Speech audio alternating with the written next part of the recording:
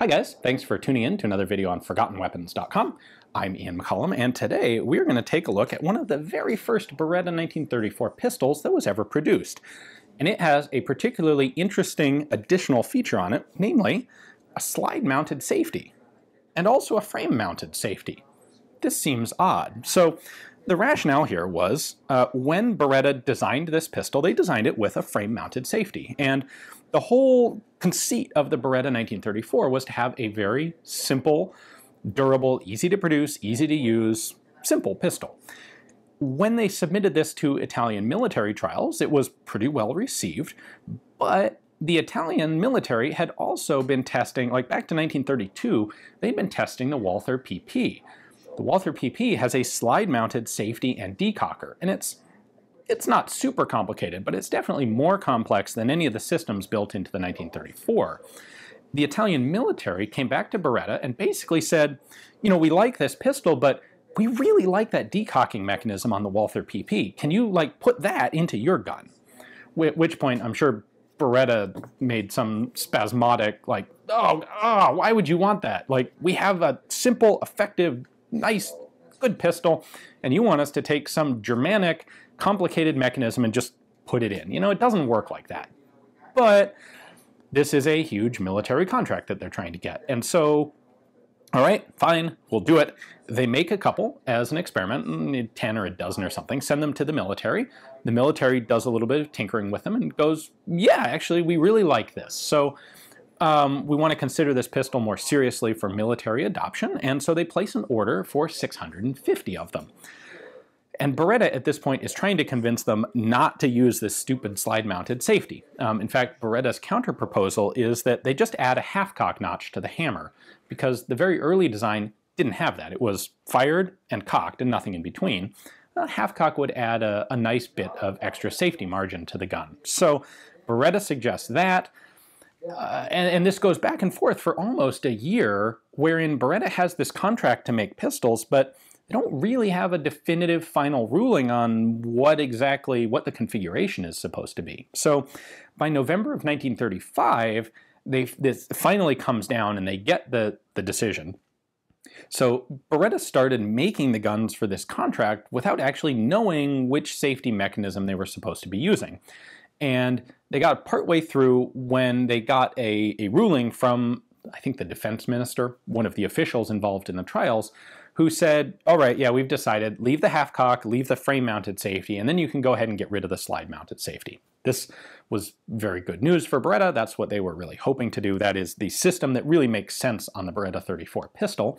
And so they transitioned their production and stopped making slide mounted safeties.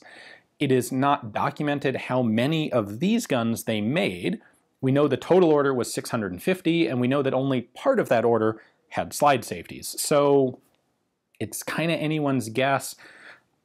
Probably a reasonable hypothesis would be about half, something like 300 of these guns. So let's take a look at how this worked and why it was such a dumb idea, and then we'll come back and talk about what happened when these went to military trials. All right, so for comparison, here is our trials gun with its slide-mounted safety, and here is a standard Beretta. This is actually a 35, but aside from caliber, that's interchangeable. And I've removed the magazines from both of these just for simplicity's sake. So the way this is supposed to work is that in the forward position, the gun can fire, like so. In the rearward position, it is both on safe and it is able to be disassembled. So put the gun on safe, just cock it to make it easier, lock the slide back like this, and you can then push the barrel out rearward. We'll just go ahead and leave it in there. This is a pretty tight one, but that's how disassembly works. Now consider this guy. You've got a slide mounted safety, so in this position it will fire. In fact, in both positions the hammer will drop, but this is a hammer block safety, so it, uh, it prevents the firing pin from moving when it's in the safe position. But we still have to have this lever because, well, how are you going to disassemble the gun? What you're going to do is bring this back. So I should actually point out, this has been reprofiled so that you can't actually pull the lever down like you would with a safety. Instead, you have to slide, pull the slide back to about here, and then you can rotate the lever around, lock the pistol open on it, and then you can push the barrel back for disassembly. Well, what makes this a little funky and awkward is that in this position, let's see, if we just lower the safety, we can put it uh, back into firing mode here, except now, oh, now, because this is in the back, it is actually on safe. However, if I realize this, I go, oh, well, shoot, I need it forward to fire. Because this has been reprofiled, I can't actually rotate that lever forward. I have to open the slide up to about there and then put the, the lever into the forward position. Now this one is in the fire position, that one's still in safe, so we'll up that, lift that up. Now, now the gun can actually fire. With that in mind, I think you can probably see why Beretta was so annoyed by this request for a slide-mounted safety. It was an unnecessary complication.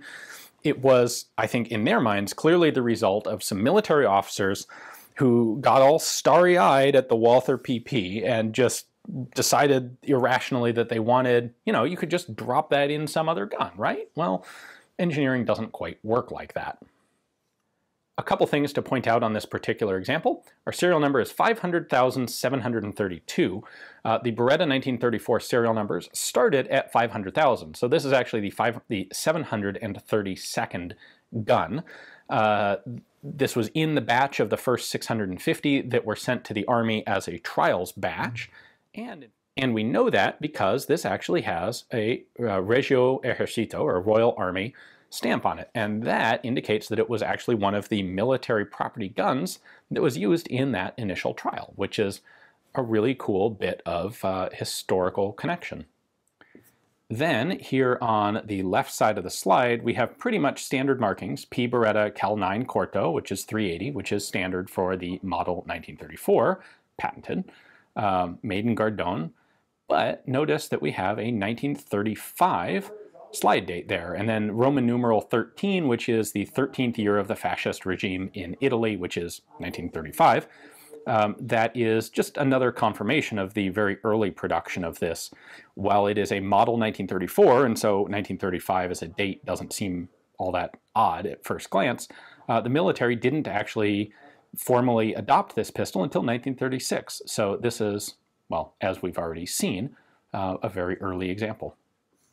So there you have one of the very first military trials Beretta 34s that led to the gun actually being adopted by the Italian military. In the trials in November of 1935, much to Beretta's relief, I think, uh, the pistols did very well. They were very well liked, um, and the Italian military decided to go ahead and adopt them. And in 1936, issued a purchase order, a contract for 150,000 of them for the Italian Royal Army.